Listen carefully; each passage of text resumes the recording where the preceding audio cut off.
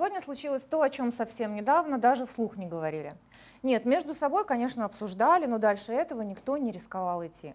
Наверное, боялись будоражить общество, а может, в результате не были уверены. Ну, так или иначе, не дожив один день до пятницы 13-го, либерал-демократы направили в Конституционный суд проект изменения 13 статьи Конституции.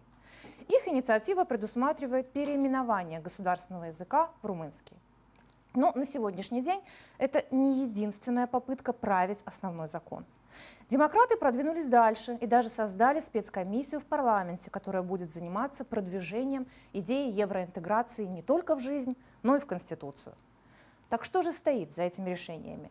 Решениями, которые, согласно опросам, разделяют далеко не все граждане. Почему они возникли именно сейчас? А главное, каковы шансы на успех? Разбираться будем принципиально, ведь вы смотрите программу «Дело принципа». Меня зовут Людмила Бельченкова. Здравствуйте.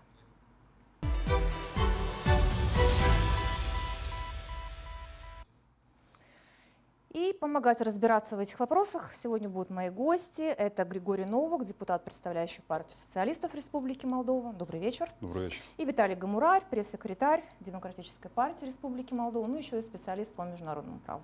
Так? Да. И вас рада видеть. Добрый вечер. Ну что ж, давайте начнем все-таки с инициативы Демократической партии. Коль вы у нас сегодня в студии.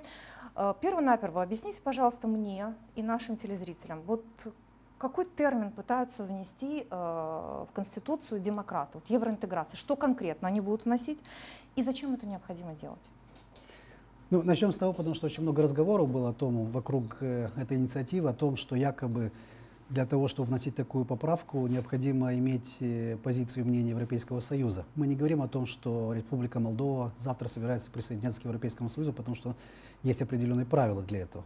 Мы говорим о том, что в рамках тех международных обязательств, которые Республика Молдова взяла на себя, и на основании решения Конституционного суда, которое было им четко было высказано о том, что договор об ассоциации э, является базовым европейской интеграции для Республики Молдова, является основной, мы хотим, чтобы это, опять же, путем разъяснения, чтобы этот путь в рамках тех обязательств, которые Молдова взяла на себя, чтобы он был зафиксирован в Конституции Республики Молдова. Естественно, это, это не завтра будет решено, этот вопрос будет обсуждаться для того, чтобы разъяснять и поним, объяснять, что такой пункт, включение в Конституцию такой поправки ни в коем случае не означает, что Республика Молдова отказывается от каких-либо сотруд... от сотрудничества с другими странами. Потому что у нас, к сожалению, Республика Молдова в данном случае является в каком-то смысле уникальной, потому что э, восточноевропейские страны, Центральная Европа, государства, там было проще. То есть, в принципе, там не ставил вопрос о геополитическом векторе. В Республике Молдова, к сожалению, такого было невозможно было сделать ни в 90-е годы, ни в 2000-е годы, ни сегодня.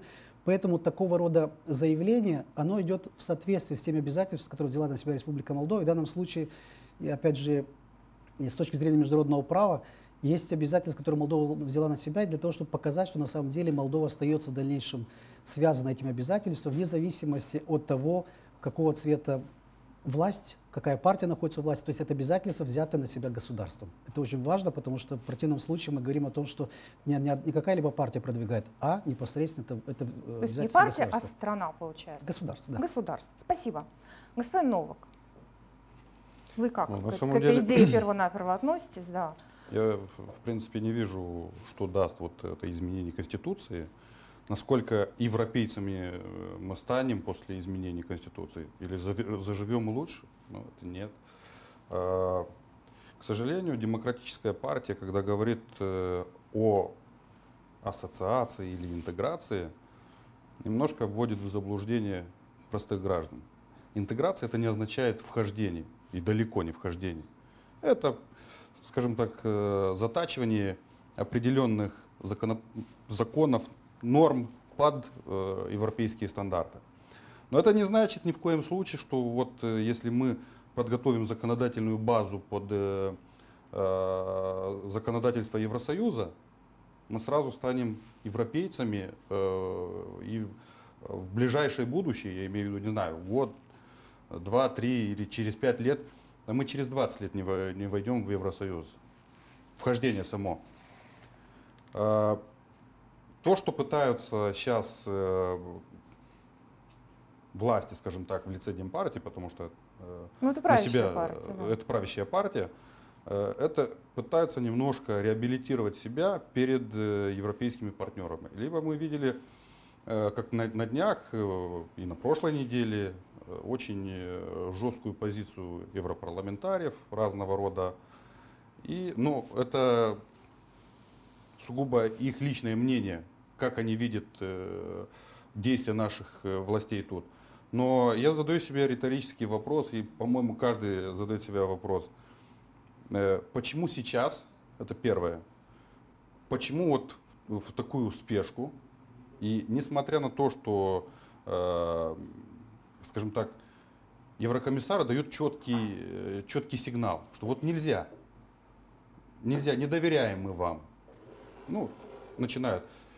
Я, как по мне, нужно э, начинать с другого. Нужно поднимать уровень жизни, поднимать экономику, не ходить с протянутой рукой к, э, по, по всей Европе, угу. не, не э, скажем так, соблюдать права человека, потому что очень много вопросов есть.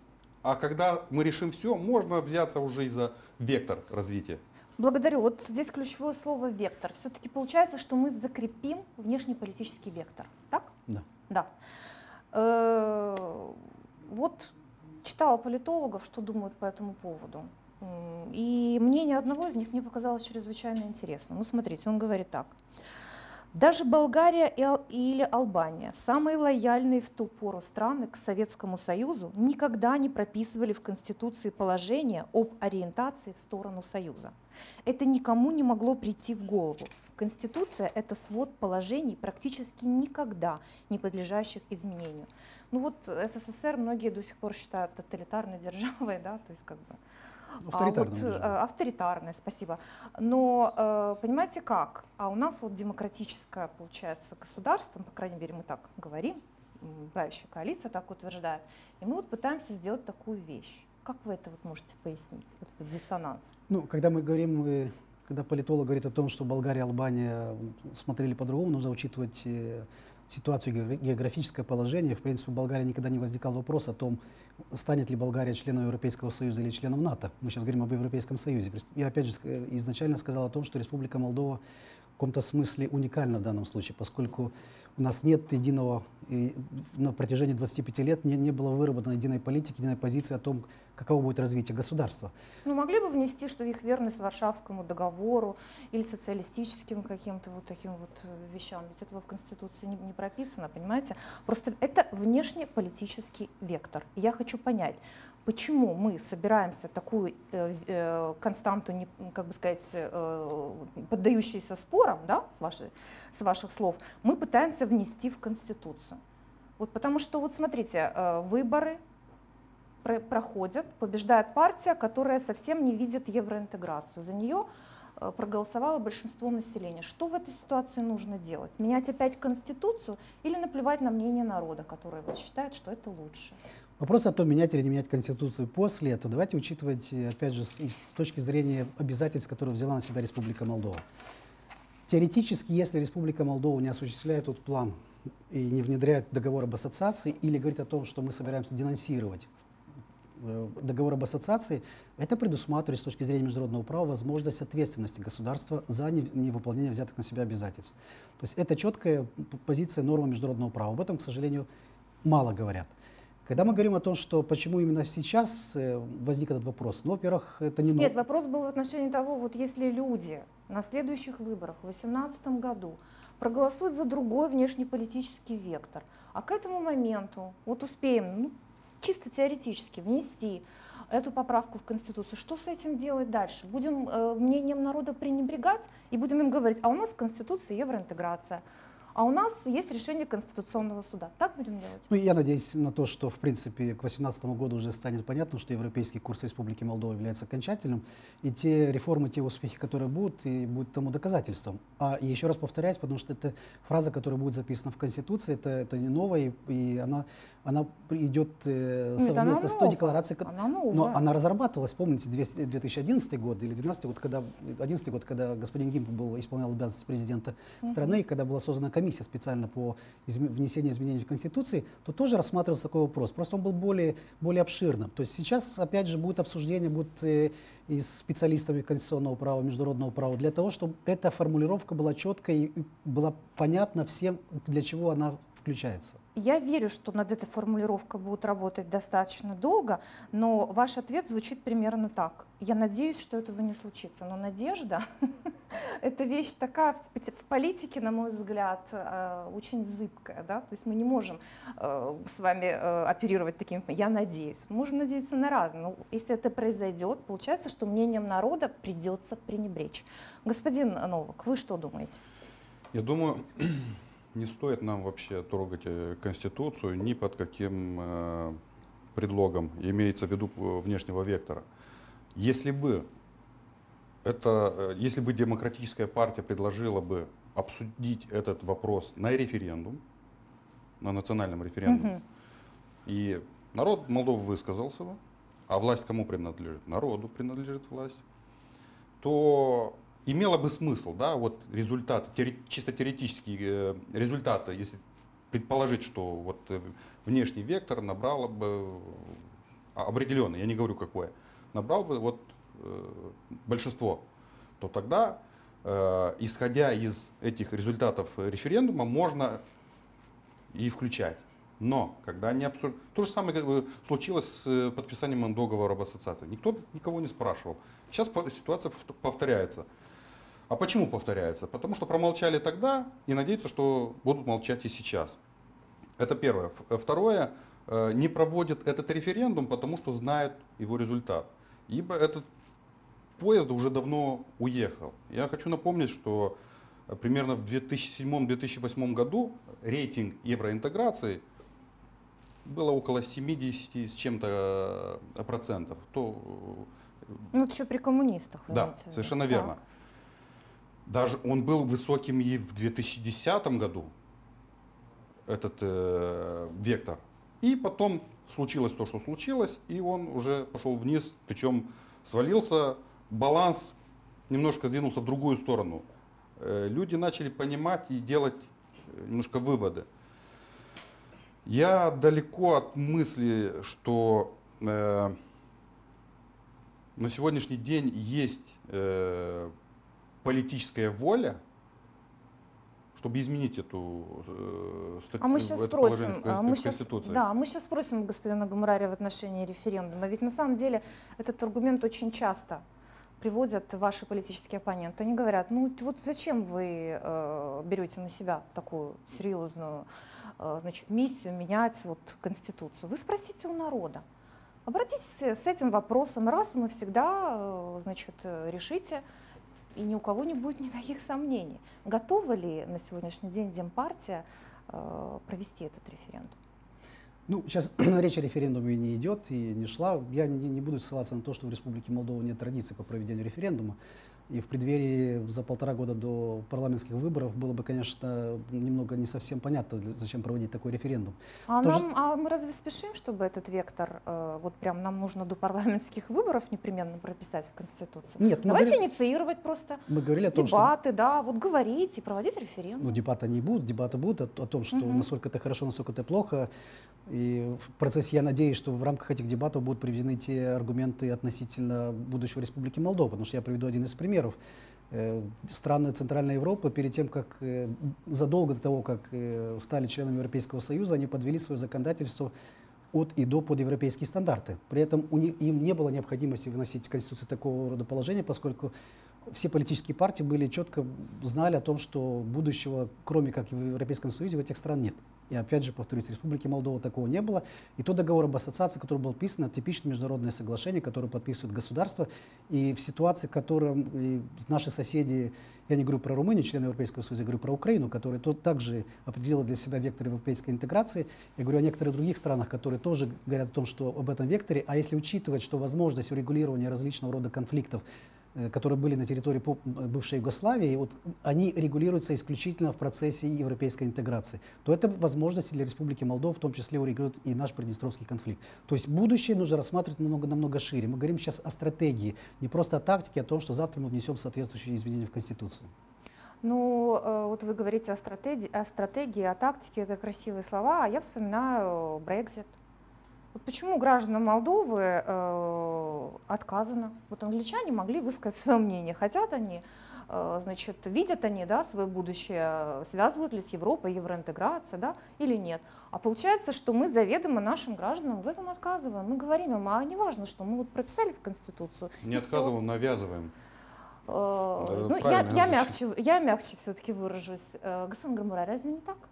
Ну, во-первых, э, если говорить о Брексите, то давайте посмотрим, что, что сейчас происходит на территории Великобритании, поскольку многие из тех, кто проголосовали, на утро проснулись и спросили себя, за что мы голосовали. Те проблемы, с которыми сталкивается сегодня Великобритания, вот поэтому и говорим, то, что мы смотрим немного дальше, нежели просто на сегодняшний а, день. А, то есть мы умнее британцев. Ну, пытаемся учитывать мы, их да, опыт. Вот... Пытаемся учитывать их опыт и те ошибки, которые, через которые прошли, потому что, да, конечно, британский прагматизм мы видели и, и тот референдум, который проводили по, по Шотландии о выходе, и опять же разница между Великобританией и Испанией по Каталонии. Здесь тоже нужно учитывать все, эти, все эти и позитив, положительные и отрицательные моменты. И, и мы исходим из того, что да, на самом деле тот договор об ассоциации, который был подписан, это большой успех для Республики Молдова, учитывая, что и экономический рост возможен только в рамках европейской интеграции, и в принципе имея за основу решение Конституционного суда.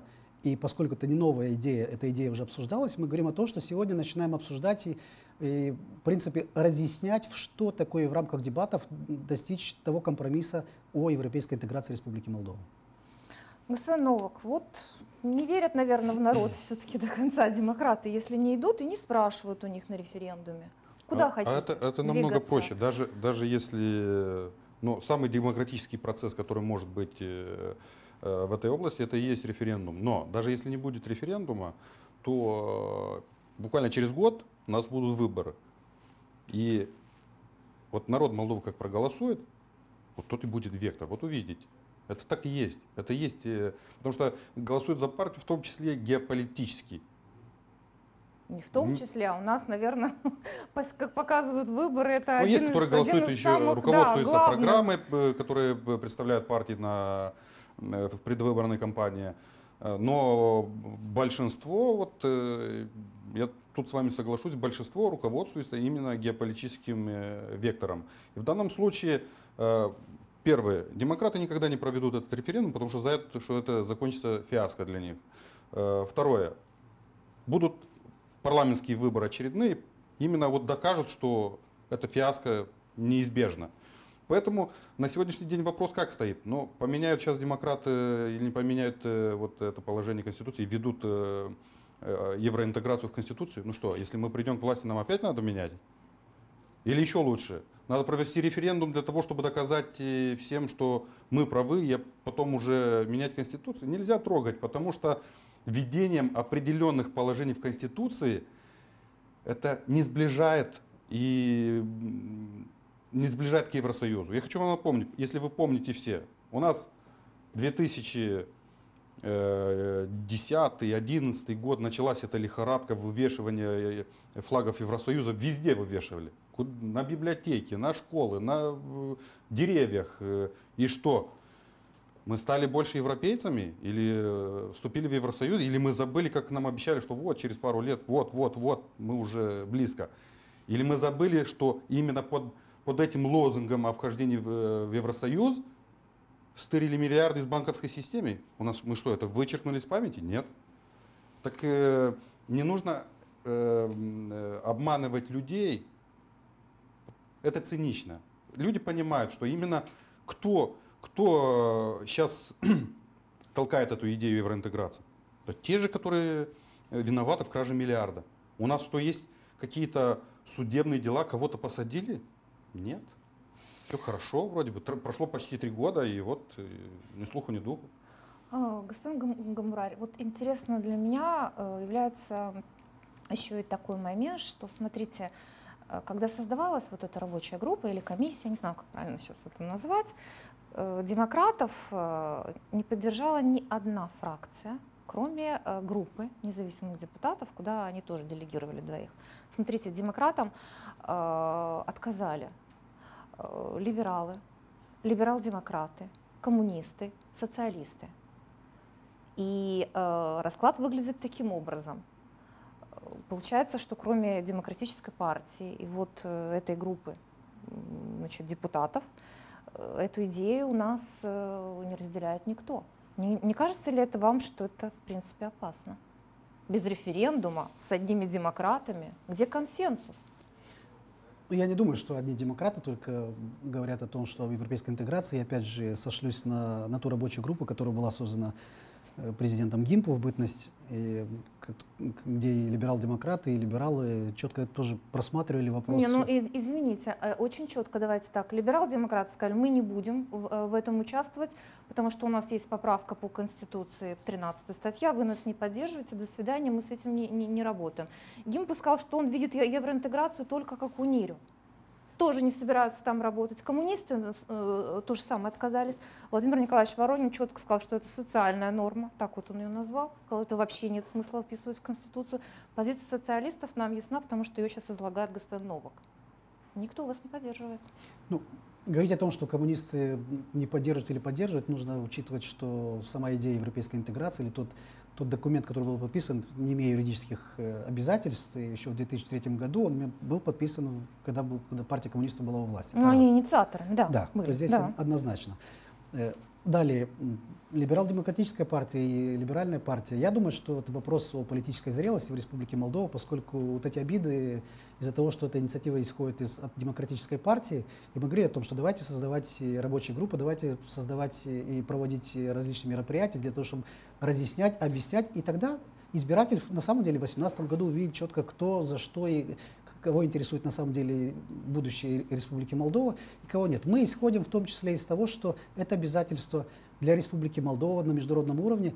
Обратите внимание, что, что было сделано французским парламентом э, перед 1968 э, годом. Одним из последних законов был закон о, о национализации. Для того, чтобы национализация не проходила по другому пути, была, были опасения, что придут популистические идеи, придут к власти, и потом начнется совершенно другая. То есть действие закона – это основа. И в данном случае мы исходим из того, что Республика Молдова имеет имеет обязательства по отношению к Европейскому Союзу, которые должна выполнять. Иначе будущее Республики Молдова не, непонятно, как оно будет. Посмотрим, что будет, потому что декларация о том, что э, европейская интеграция возможна только через объединение с Румынией, ну, это декларация, которая, в принципе, эта либеральная партия уже готовится к э, предвыборной кампании. То я... есть, вы, если правильно вас понимать, вы надеетесь на то, что э, эти фракции, эти партии, они одумаются и поменяют свое мнение, я надеюсь, или на что? Я надеюсь на то, что они, вот в принципе, пока они нет, они будут не участвовать хотят. в этом переговорном процессе, они должны понимать четко, что за этим процессом будут следить и избиратель, за этим процессом будут следить и все все общество, эти процессы будут открыты, эти, эти, эти процессы будут обсуждаться, и в том числе говорить плюсы и минусы, с которым столкнется Республика Молдова. И тогда будет интересно послушать, кроме того, что мы не хотим, потому что это исходит от демократической партии, а что конкретно, почему вы этого не хотите? Вот у меня есть одна версия, почему они не хотят, почему потому что это исходит из, от демократической партии, и, следовательно, да, я вот э, попозже вернусь к этой теме, пока хочу послушать господина Нового. Господин Новых, смотрите, вы не одиноки в парламенте по, в отношении да, изменения Конституции э, в сторону европейского вектора. А, может быть, как-то вот фракциям, тем, которые не согласны с этим, выступить э, или с каким-то совместным заявлением. И вот тоже сказать, уважаемые демократы, вот, все хорошо, но, но нет. знаете, Людмила, и голос будет звучать уже весомо. Не мы, только мы, будут мы, одни принципе, социалисты. Мы, в принципе, не против сделать такое заявление с нашей стороны мы полностью открыты. Но вопрос в другом, а что это даст? Кто это послушает? Ну, кроме народа. Народ и так знает нашу позицию. Но э, дело немножко в, в другом. И вот господин Гамурар знает, что такое Конституция. Конституция это высший закон в стране. Вот, иерархия, самая высокая точка. Да? Конституция это свод законов и прав да? Что такое евроинтеграция? Это закон или право? Вот ну, как, я начала с этого эфира, каким, я просила, чтобы вы мне оба объяснили. Каким, не знаю, боком она туда, под, под каким соус ее туда подать? Это никто не может ответить на этот вопрос, потому что Э, ибо это пахнет э, немножко другим. В Конституции написано, что любой человек свободен мыслить, как он хочет. Да? Вот, э, я так думаю, и все. Да? Пускай так думает. Но навязывать человек, потому что э, человек обязан соблюдать Конституцию, да? Ну что, если я э, думаю иначе? Вот я, я не, не думаю, что евроинтеграция это хорошо, к примеру, да? Или дру, любой другой гражданин. Получается, что я нарушаю закон. Да. Получается так. Еще после, а, а почему? после толкования еще Конституционного суда Теперь вы есть, уже есть, нарушаете. есть отдельная статья Конституции, что я свободен думать, мыслить, как я э, хочу, да, вот э, и свободен, э, свободно могу и передвигаться, и, то есть все, вот есть разные положения Конституции. То есть мне сейчас, вот не мне, вообще народу Молдовы, вот нам сейчас навязывают если, не дай бог, введут это положение в Конституцию, чтобы мы нарочно, вот, вот сознательно нарушали закон. И что это, э, чем это грозит, чем чревато, потом что, последует э, отдельная статья в Уголовном кодексе за несоблюдение Конституции? Есть такая версия. Мы дойдем до маразма просто, вот, если рассуждать так. Есть такая версия, и вы не слышали, что на самом деле вот за этой инициативой стоит просто-напросто желание получить какие-то предвыборные очки. Да? Что, э, вот смотрите, давайте рассмотрим такую ситуацию, чтобы было понятно. Когда сформулировано будет в комиссии, что хотят, да, обратятся в Конституционный суд. И вот представим себе такую ситуацию. Конституционный суд говорит вам – ну, это, в принципе, не вписывается, да, а, значит, в конституционные какие-то нормы, и вы не можете, значит, менять основной закон и добавлять там а, такие положения. Тогда я себе подумала, а что выигрывают демократы? А выигрывают, в принципе, две вещи. Первое.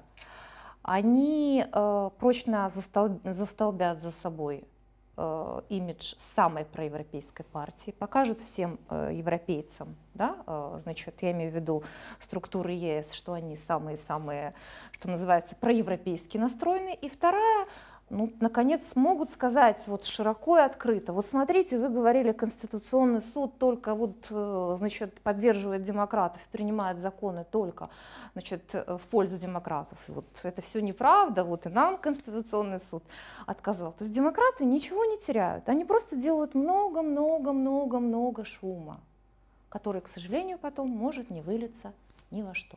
Комментируйте.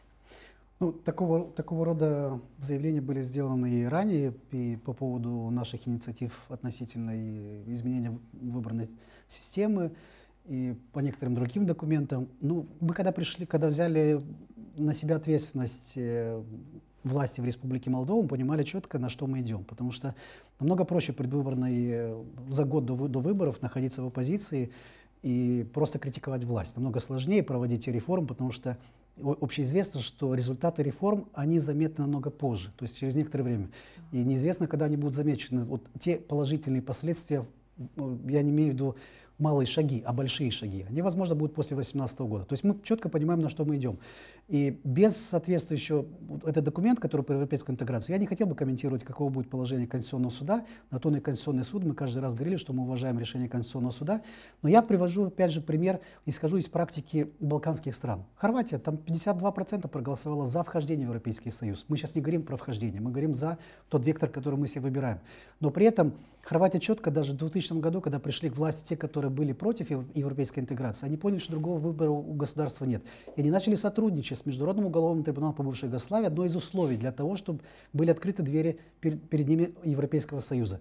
Республика Молдова должна четко дать понять. И этого мы, это мы хотим, и это мы, и, в принципе, говорим это и на национальном уровне, и на внешнем уровне нашим, нашим партнерам о том, что мы не собираемся менять наш курс, и те обязательства, которые есть перед Республикой Молдова, они будут выполняться, потому что и это включение в Конституцию, оно будет параллельно с теми реформами, с теми продвижениями тех э, положений, которые есть в имплементации договора об ассоциации. Поэтому я бы не хотел, не стал бы говорить о том, ну, что мы сознательно Мне важно было, чтобы, да, чтобы вы сказали, вы исключаете э, вот, раз, развитие ситуации в том ключе, в котором так подробно описала я. Ну, что по крайней мере, может быть. По крайней мере, мы это, это- я такое впервые слышу. То есть это не обсуждал. Ну, не впервые, я имею в виду, что слышал э, разговоры в, в оппозиции, некоторые политологи, но мы даже близко такой вопрос не ставили. То есть вы думаете, что Конституционный суд все-таки поддержит? Мы не знаем, что он думает. Мы сейчас видим это решение. Мы говорили о том, что будут создаваться рабочие группы, будут, будем советоваться и с академическими кругами, и с экспертами, в том числе и за рубежа, для того, чтобы четко было понятно, правы мы в этом или нет, или есть какие-то проблемы. Спасибо. Господин Новак, вам как моя версия, которую я сейчас изложила? Вам кажется это вероятным или нет? Людмила, я, я еще в начале передачи сказал, что я далек от той мысли, что это, это одобрят сами европейцы. Почему я говорю? Потому что, э, во-первых, э, европейцы прекрасно понимают, что э, на длительный срок Республика Молдова не войдет в Евросоюз. И будем менять мы Конституцию, не будем менять Конституцию, от этого ничего не изменится. Второй момент. Э, Вот господин Гамурарь говорит, что курс ДПМ на евроинтеграцию. Курс э, Республики Молдова, да, вы сказали. Это, я хотел бы отметить, что это не курс Республики Молдова, это курс ДПМ, поскольку э, ДПМ не спросила никого.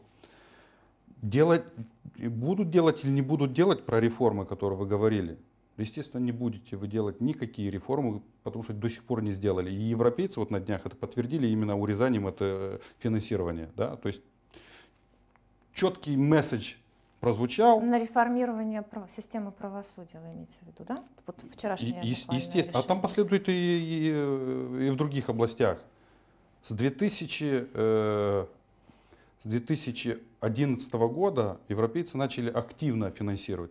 Да, вот за 6 лет можно, не знаю, было, что, что реформировать в этой судебной системе. Вот я не могу понять. Реформа это состоит в мебели или состоит в зданиях, э, что переводит, э, или в оптимизации судебных инстанций? Да нет. Если мы говорим о реформе э, юстиции в целом, вот то, что сделали э, закон об, об оптимизации карт э, судебных инстанций, это полный бред. Вот э, я хочу понять, вот, э, к примеру, на юге, там вот Штефанводский район, э, Каушаны и, по-моему, еще Новая Анена. То есть три района будут скапливаться э, в, в один район. Так, секундочку, а у нас инфраструктура под это есть? Нету. Я понимаю, к чему И, вы и тут сразу все, Мгм. дальше не надо идти. Инфраструктуры нету. У нас нет такого большого здания. Какое здание есть, э, не знаю, в Каушанах, там будут суды? Нету такого. То есть вы хотите сказать, что сами европейцы не одобрят эту идею? Да они сами видят, что не справляются с реформами. Ни в Спасибо. одной э, области. То есть, и, и э, вот поняла, увидите, Поняла. последуют еще другие направления вот по урезанию фина- финансирования. Господин Гамурари, вот, кстати, в отношении европейцев, а почему бы не обратиться в Венецианскую комиссию заранее? Демократам. Вот спросить, написать, мы хотим внести вот это в Конституцию. Что вы думаете, уважаемая Венецианская комиссия? Потому что мы знаем, что еще с прошлого э, нашего голосования за смешанную систему вот вы, вы остались не очень довольны тем, что мы делали. Ну, это на самом деле это было. Почему вы это не делаете? Почему вы сразу занимаетесь так вот значит, серьезными такими шагами, да? Создаете комиссию, суд. Почему вы сразу не спросите европейцев? Ну, для того, чтобы спросить, во-первых, нужно обсудить на, внутри государства. Это внутренняя политика страны, которая указывает на то, какой будет вектор. То есть это, и это некое сообщение, которое дается в том числе европейцам. И впоследствии, потому что эта идея не А на... что, а что можно сказать европейцам? Никто не поддерживает. Нет. Вы, же- вы же видите. Мы же, не есть- говорим, мы же не говорим о, Да. о о том, что мы хотим завтра стать членом Европейского Союза. То есть вот здесь бы надо было спрашивать европейцев. Мы говорим о том, что Республика Молдова не видит своего развития как внешней, внешняя политика, как, как в сотрудничестве с Европейским Союзом и имплементация тех положений. Это внутреннее дело государства, которое, я уже приводил пример, это и Венгрия делает, и Чехия, и Слова- еще Чехословакия, бытность, потом Чехия и Словакия. То есть страны, которые подвели свое законодательство, все свои стандарты под европейские стандарты. И тогда, когда возник вопрос об обсуждении, о том, что возможно ли сотрудничать, как будут сотрудничать, было понятно, что у нас одни и те же, что у них одни и те же правила. То есть вот это мы хотим, для того, чтобы было понятно, что мы идем по по пути европейской интеграции, но это не означает даже близко, что мы завтра обратимся в европейском о том, что мы хотим стать европейс... членом Европейского Союза. То есть то партнерство, которое сегодня существует, в рамках этого партнерства мы хотим развивать в дальнейшем наши отношения. Я понимаю, но в отношении изменения Конституции, почему бы не обратиться к венецианцам? Это напрямую их епархия, если можно так выразиться. Всегда Молдова, э, вот наш, когда думали менять Конституцию, то, что было в 2000 году, 5 июля, всегда обращались вначале в Венецианскую комиссию. Приезжали наши делегации. Президентская говорила, что венецианцы поддерживали президента, депутаты приезжали, говорили, поддерживают парламент. Неважно. Обратитесь, получите заключение, потом мы будем говорить об этом. Мне кажется, что это было бы, наверное, по крайней мере, ну, не знаю, наверное, грамотно. Ну, не стану спорить, наверное, вам виднее. Я объясню, Давайте... почему, Людмила. Тут очень просто. Юридическая, э, Венецианская комиссия дает э, рекомендации исключительно юридического характера. В данном случае э, то, что пытается вводить э, э, вот это положение о евроинтеграции, она не, не подразумевает и не входит вот в этот термин юридического характера. То есть вы думаете, ибо... они боятся получить от них вот такой отказ, да? Да, ну, оно очевидно, что будет отказ, потому что э, иначе не может быть. Ну, если вы правы, тогда получается, что у демократов появится большая головная боль, если э, верить всему Венецианская коду. комиссия это, да, юридический. это юридический орган, а не Я политический. Вот. Я поняла. Давайте поговорим об инициативе ЛДПМ. Э, господин Новак, я ведь не ошибусь, если скажу, что э, социалисты категорически против, правда? Вот так коротко и ясно. Вы не собираетесь менять статью Конституции, называть язык румынским, так? Так. Вот, а вот господину Гамурарю интересно задать этот вопрос, потому что 34 подписи сегодня появились, и среди них три э, демократа. Я пытаюсь понять, как такая важная, очень важная вещь, как государственный язык, э, то есть какие-то люди поддерживают в, в самой большой фракции, а какие-то люди нет. Могу назвать фамилии, если хотите. Или вы знаете? Ну, конечно. Да, э, значит, кто подписался у нас? Господин Журавский, господин Хатиняну, на Семен Плешко. То, что я вот видела для себя, выписала. Да я могу перечислить всех. Вот Делил, Чубанов, Не нужно Хамзат, всех. Все. Господин Гамурари не может ответить за других депутатов, но мне хочется, чтобы он ответил за демократ.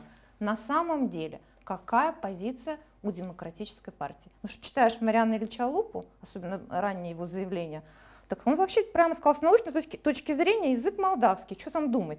А вот нет, некоторые члены партии считают по-другому. Как такое? Ну, я, я бы стал разграничивать вопрос о том, политический и научный, потому что вопрос о языке по большому счету это не политики должны давать, а должны давать э, определение, это раз. Во-вторых, а кто? Как, каково будет... А ну, кто? Это, это ученые должны сказать, высказаться по этому поводу. Ну, так получается, у нас политики именно и дают. Э, ну, о том, что какова будет позиция демократической партии, посмотрим в процессе голосования, посмотрим в процессе обсуждения, потому что э, те депутаты, которые поставили свои подписи под этим, угу, под этим документом, угу. это их, их личное мнение о том, что вот, э, необходимо рассматривать, какова будет позиция в дальнейшем, как они будут голосовать, я не могу сказать по этому поводу. То есть, опять же, э, вопрос об языке, к сожалению, он стал, э, он является политическим с самого начала. Вспомнишь, когда принималась Конституция, да. я разговаривал с людьми, которые создавали Это Конституцию. Правда. Там был вопрос о том, да, что да. называть его румынским, называть его как, как... Мы нашли такой компромисс, поскольку только распался Советский Союз, долгое время еще целое поколение, которое жило вот под этим влиянием, верно, это верно. молдавский язык и так далее. И на сегодняшний день, то есть я всегда приводил один пример проходя мимо русскоязычных школ в Кишиневе, и вот э, слушая, как дети говорят о том, какой у них следующий язык, как, какая следующая лекция. То есть я никогда понятия молдавского языка не слышал. То есть поэтому эти вопросы, наверное, наверное сейчас, э, по мнению либерал-демократической партии, созрел, потому что я, я, мы высказывались о том, я был противником того, что был некий торг. То есть мы хотим предложить э, вектор, угу. внести вектор. Вы, вы нас поддержите в этом, а, а мы вас И мы сразу сказали, мы, каждый вопрос рассматривается отдельно. Есть, было такое предложение у либерал-демократической партии. Ну, Давайте ну, посмотрим. Не скромничайте, господин Гамарарь, вы все-таки помогли либерал-демократам, не вы конкретно, а демократы, потому что вы предоставили свои подписи. Если бы подписи этих людей не было, то они не смогли бы обратиться в Конституционный суд. Так? По закону. Да. Ну, это их мнение. Это их, да. Э, так что в этом отношении давайте будем справедливыми. Но э, вы сказали э, замечательное слово компромисс.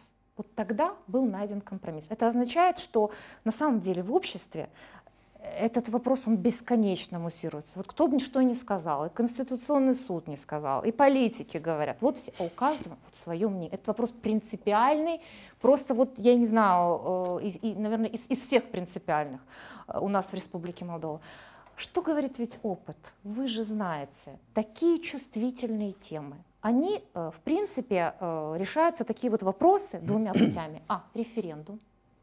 Б, в такие моменты, когда э, обстановка в обществе является крайне благоприятной, когда общество достигло своего определенного уровня развития, когда люди, извините, сыты, да, когда им есть что есть, а потом уже будем говорить э, о том, на каком языке мы говорим. Извините, я не вижу здесь ни референдума, я не вижу здесь э, э ни благосостояния, благополучия наших граждан. А мы им опять пытаемся вот э, насильственно э, этот вопрос решить. Разве не так? А неизвестно еще, какого будет решение. Возможно, этот вопрос будет заморожен, потому что в международной практике существует очень много примеров, когда какие-то вопросы, которые являются чувствительными для общества, они обсуждаются, потом замораживаются на некоторое время, потом начинают опять обсуждаться. То есть, ну, говорить об этом, об, об этом необходимо, а то, что одна из партий пришла с этой инициативой, опять же, нужно рассматривать в том числе и их обещания перед, перед своими избирателями, возможно, уже подготовка к предвыборной кампании. Но угу. я, опять же, исхожу из того, что я не знаю, каково будет решение в дальнейшем, как проголосуют. Возможно, этот вопрос и будет заморожен для того, чтобы впоследствии его обсуждать дальше и в обществе, подводить, разъяснять, что к чему. Потому что для меня в любом случае по конкретным вопросам ведь никто не собирается объяснять врачу, как называется та или иная операция. То есть то же самое здесь. Но на самом деле сегодня, к сожалению, на протяжении, да не только сегодня, на протяжении всего того времени общество по этому вопросу разделено. И угу. ну, говорить об этом необходимо, потому что оставлять просто так этот вопрос, когда некоторые считают так, некоторые считают по-другому, это тоже не, не самый правильный подход. Я приводил пример, когда государство, например, заключает э, двусторонние соглашения, договор, договор о разделении границы или о мире, и о дружбе, и сотрудничестве. И они говорят, есть нерешенный вопрос о, о демаркации границы. Давайте оставим для следующего поколения. И они делают его, например, 20 лет заключают. Все, теперь поняла, почему нет э, договора о границе между Республикой Молдова и Румынией. Почему нет договора? Да. Договор, договор 1986 года между СССР и Румынией, мы являемся правоприемниками этого соглашения. У нас... Нет, очень многие политики Тогда считают, что... по такой логике мы правоприемники да. еще Конституции той. Нет, нет, нет, ребят, давайте, давайте сделаем то, что говорят... Где полит... четко написано молдавский то, язык. То, что говорят политики, это одно, то, что говорят юристы, я вам говорю как юрист-международник. Мы являемся правоприемниками договоров, действующих на территории я знаю также Молдова. Другое, что власть в Республике Молдова была разная. И когда у власти были коммунисты, они много раз э, говорили румынам, что мы хотели бы заключить договор между Республикой Молдова и Румынией. И румыны каждый раз говорили нет. Нет, договор он да. есть, он действует. Поэтому, Вопрос о том, э... под этот договор заключать другого о переходе границ, я закрыть, это другое ну, дело. ладно, я сейчас, э, давайте собьемся. Более того, румыны, собьемся... румыны первые признали нашу независимость и до сих пор не признали, вот, э, да, не я считаю, что э, договор какие-то, какие-то вещи, видите, мы хотим прописывать в Конституции, какие-то основополагающие моменты. Вот мы, к сожалению, оставляем другим поколениям. Господин Новак, ну вот смотрите, что происходит с языком у нас. Каждый год сюрприз. Вот у вас к вам вопрос такого рода. Почему не хватает решения Конституционного суда? Ведь он э, совсем недавно сказал, что у нас декларация о суверенитете превалирует. О независимости. О независимости, извините, да. Превалирует над Конституцией, язык наш называется румынский.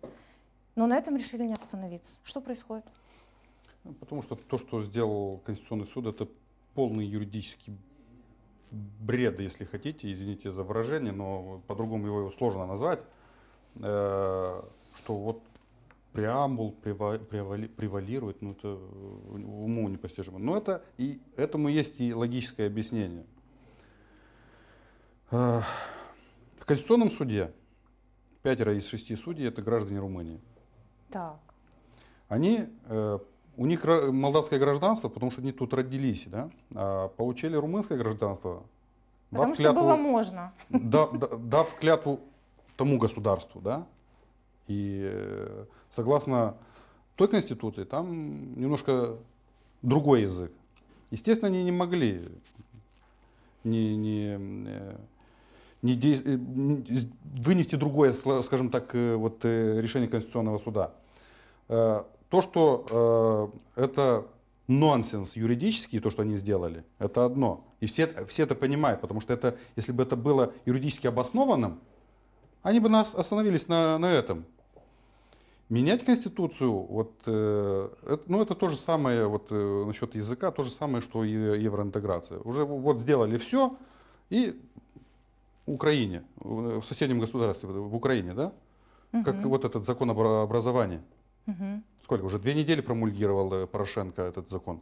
Да, уже, Живу- уже вчера Совет Европы высказался. что Уже, безобразие. уже две недели живут как в раю. Поменяли вот э, закон и живут э, как в раю. Расти- раскритиковали и венгры, и румыны, мы в том числе. Мой коллега сегодня в- ПАСЕ очень жестко раскритиковал вот это промульгирование этого закона, потому что это нарушает напрямую права э, Право на обучение. на обучение, да. э, в том на числе наших языке. граждан, молдаван. Э, А уже о европейских нормах и принципах э, уже всем понятно, что тут нарушили все, что можно. На самом деле это э, на сегодняшний день либералы, либерал-демократы, ну, они потеряли, вот скоро выборы, а на выборах с чем-то надо идти, да? Э, Понятно, что ими уже никто не верит, как и Демпартия. Демпартия схватилась вот за этот э, евроинтеграцию, потому что, вот видите, вот мы ввели в Конституцию, осталось чуть-чуть, и уже будем жить э, в шоколаде. А тут э, есть другая э, сторона, которая говорит, ага, посчитали чисто математически, не хватает голосов, значит, можно сейчас чуть-чуть подергать за ниточки. А вот мы предлагаем это. И, как говорит, торг. Э, Не знаю, чем закончится этот торг, Ну вот потому господин что... Гамурарь торг как раз отрицает. Он говорит, мы не торгуемся, да? Мы изначально так сказали, что Да, мы идем вот своей гам- инициативой, господин потом Гамурарь- демократы пришли своей инициативой. Так.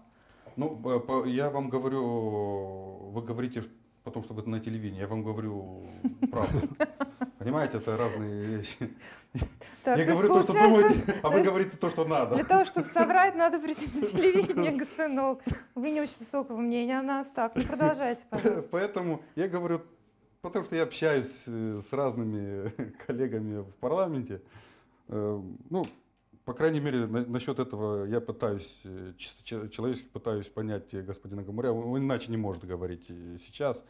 Э, Но это и есть торг. Я предоставлю вам реплику, господин Это, Гамурарь. это есть Так. торг. Э, Я хочу сказать, что э, насчет этого торга очень много членов фракции демократов против, против этого, потому что, А, ну, то есть вы общались между, между конечно, собой сегодня, буквально да? сегодня даже. Обсуждали? Особенно вот есть, ну как могут, вот, к примеру, представители этноса, гагаузов, да, гагаузов, там сколько их, трое или четверо, четверо по-моему, четверо, да, в, э, в демократической партии. Ну как они могут объяснить в Гагаузии там, что вот они проголосовали за, за румынский язык, но это ни- ни в- никак не вписывается в, в сценарий. Э, То же самое есть и э, русскоговорящие товарищи там тоже против.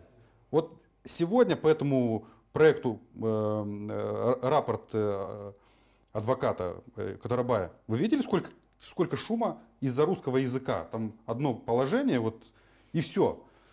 Только затронули эту тему и на 4 часа застряли в, в дебатах. И дебаты были, я вам говорю честно, дебаты были не только на микрофонах, а уже и в зале пошло там э, между собойчик. Это э, от- открыть этот ящик Пандоры ну, не, не стоит, это никому не надо.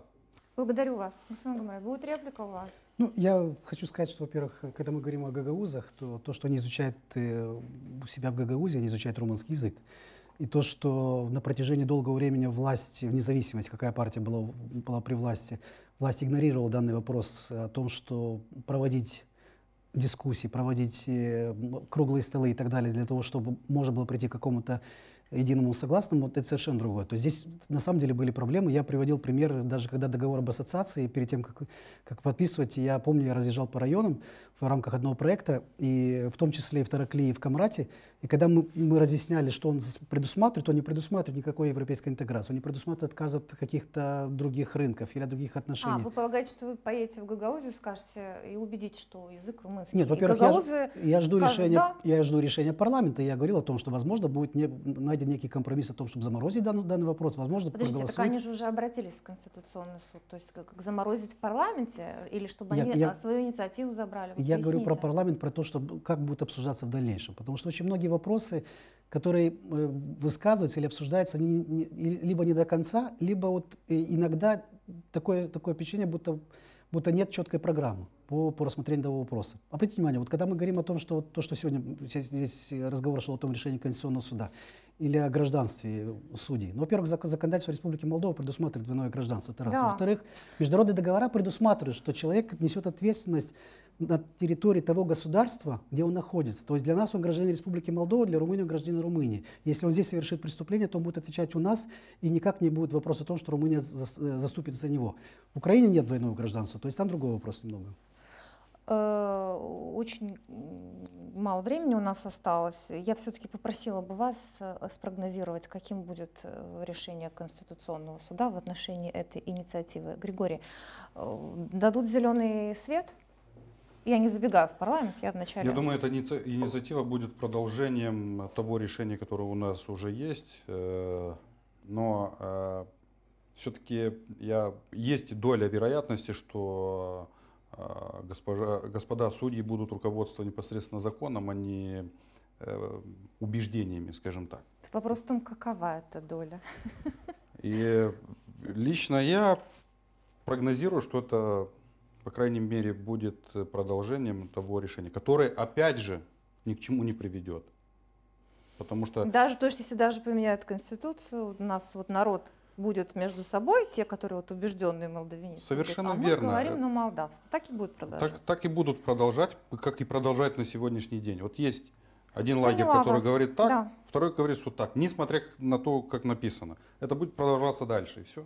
Спасибо коротко вам тоже дам, ну, полторы я не минутки. Думаю, что, Прогноз. Вот не думаю, больше. что Конституционный юрист. суд изменит свое решение, у него есть четкая позиция, но с другой стороны надо учитывать, что в современном мире мы видели декларацию главы Каталонии, который сделал декларацию очень четко по поводу своего референдума, но при этом оставил место для диалога. То есть я так понимаю, что и, и так оно должно быть, если мы говорим о, о европейских ценностях, в том числе о том, что мы говорим вектор европейского, европейской интеграции, мы должны учитывать вот те традиции, возможность вести диалог для того, чтобы общество не было чтобы общество смогло найти общий язык и для того, чтобы впоследствии можно было обсуждать э, не, не как враги, а как... То есть вы надеетесь, что Конституционный суд даст такое толкование, чтобы появилось вот это? Ну... Я надеюсь, что Конституционный суд, поскольку знаю, что там сидят профессионалы, что Конституционный суд даст решение, которое, в принципе, будет воспринято нормально и будет соответствующее разъяснение. Спасибо. Наше время вышло. Я вас, конечно же, благодарю э, за участие в этой передаче. Тема у нас была сложная, но важная. И э, прежде чем закончить наш эфир, э, вот хочу вспомнить то, что все время говорили коммунисты. Мне кажется, что вот это как раз они говорили правильно. Они говорили, прежде чем решать вопрос о языке, надо все-таки народу что-то на этот язык положить. Мне кажется, лучше в отношении функционирования языков на территории Республики Молдова все-таки не говорил никто. Наверное, настало время к этому тоже прислушаться. Спасибо вам большое. Приходите к нам Спасибо. еще и будем дискутировать. Вы смотрели программу «Дело принципа». Я желаю вам всего самого доброго и доброго вечера.